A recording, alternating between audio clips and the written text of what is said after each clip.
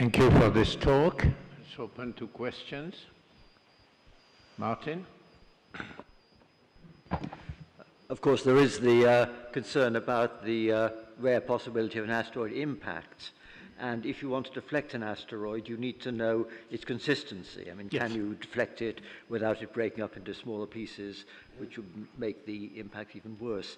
Can you say anything about uh, the deflection techniques and whether they will work given that constraint? Um, one of the reasons we're convinced that asteroids are so porous, I showed an image of one of them that has eight very large craters on its surface. No one crater that big could exist on a solid rock because it would shatter the body.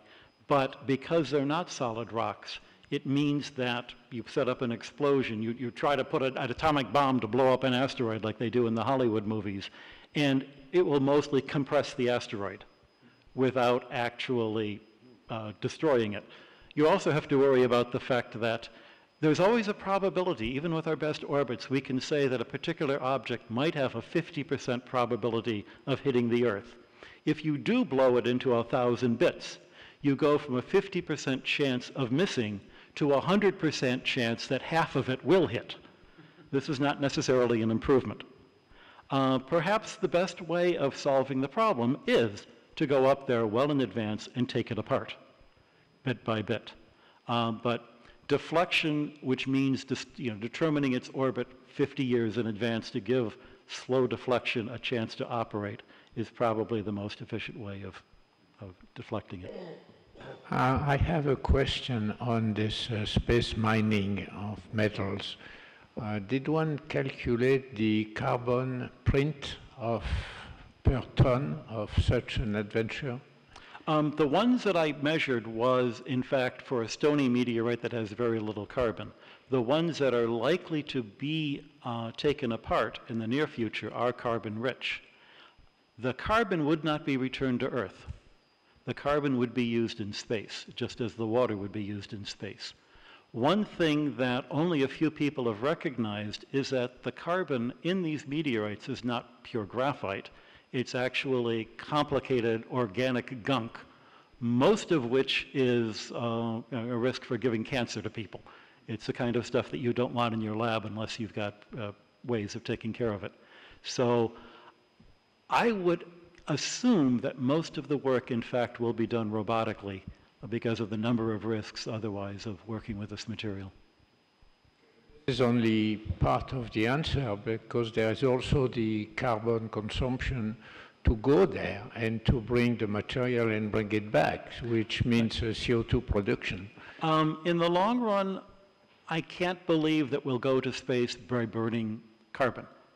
Um, in fact, most rocket fuels, uh, most you, you can have a very efficient rocket fuel that, that is based on nothing more than hydrogen peroxide. Uh, the British launched their one and only satellite using a hydrogen peroxide rocket. There are ways of doing this without burning carbon. Professor Shu?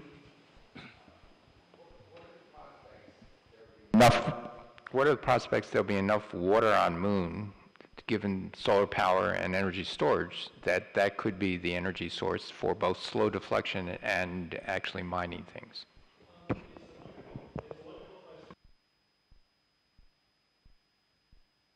Uh, we don't have the numbers yet. There probably is a significant amount of water in the poles of the moon.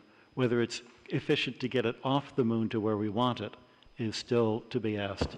We are assuming that the dark asteroids are water rich, but we don't know that. No, I was actually thinking you set up a solar station on the moon. Uh-huh. You have energy storage on the moon. You turn the water into fuel on the moon. Yeah, eh, but, but still getting it off the moon to wherever else you want to use it i- is, the last step along the way.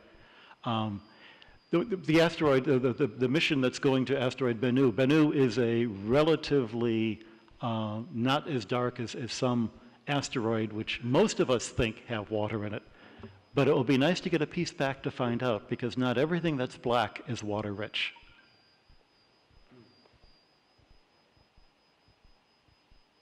So it's uh, exactly time to stop the morning session and to have lunch, and we reconvene at 2:30. Thank you very much, and we applaud again the speakers.